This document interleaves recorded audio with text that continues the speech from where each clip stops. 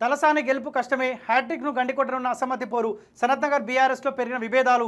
తనయుడు సాయికిరణ్ ఓటమి నుంచే బహిర్గతం. చాప కింద నీరుగా పుంజుకుంటున్న బీజేపీ. మంత్రి తలసాని శ్రీనివాస్ యాదవ్కు నియోజకవర్గంలో ఎదురుగాలి వేస్తున్నది. వచ్చే అసెంబ్లీ ఎన్నికల్లో ఆయన గెలుపు అంత సులభం కాదు. ఇప్పుడు గ్రేటర్ అంతటా వినిపిస్తున్న ఈ టాక్ ఇదే. రాష్ట్ర మంత్రిగా పనిచేస్తున్న సొంతిట్లో ప్రజాభిమానాన్ని కోల్పోయారనే ప్రచారం జోరుగా సాగుతోంది. సనత్ నగర్ సెగ్మెంట్లో నామినేటెడ్ పార్టీ పదవులు వస్తాయని ద్వితీయ శ్రేణి నేతలు ఆశపడ్డారు. వారికి పదవులు దక్కకపోవడంతో తీవ్ర అసంతృప్తితో ఉన్నారు. దీనికి తోడు రెండు వేల పద్దెనిమిది ఎన్నికల్లో టీడీపీ నుంచి పోటీ చేసి తలసాని చేతిలో ఓటమి పాలైన కూన వెంకటేశం గౌడ్ అనంతరం టీఆర్ఎస్లో చేరాడు. ఆయనకు కూడా నామినేటెడ్ పోస్ట్ వస్తుందని భావించారు.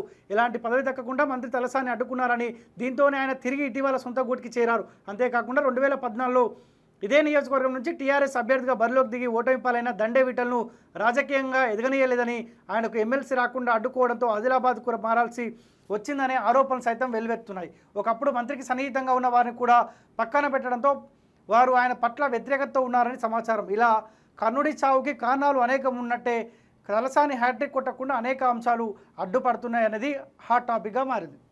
బీఆర్ఎస్ పార్టీకి ఎట్టి పరిస్థితుల్లో ఓటేసే అవకాశం లేదు. ఇక ఇవి ఒకటి అనుకో. ఈ అంతర్గత పోరు అసమ్మతి పోరు ఇది కొన్ని ఆడని అనుకో ఇక డిపాజిట్ కూడా వచ్చే అవకాశం ఉండదు. తలసాని శ్రీనివాస్ యాదవ్ అనే కాదు. అంతర్గతంగా అంతటా రాష్ట్ర వ్యాప్తంగా బీఆర్ఎస్లో అంతర్గత కొట్లాటలు వస్తూ ఉన్నాయి. ఎందుకంటే సపోజ్ చెప్తా ఉన్నా పన్నెండు మంది కాంగ్రెస్ పార్టీ నుంచి బీఆర్ఎస్లో ఏరిరు.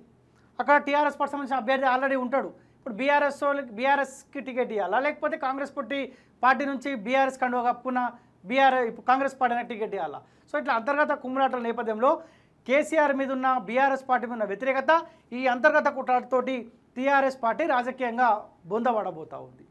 హండ్రెడ్ పర్సెంట్ ఇది వాస్తవమే.